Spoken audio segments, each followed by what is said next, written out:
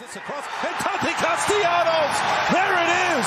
The first header of the season. Now, Matarrita across, Parks and flashing header. Castellanos gets a second.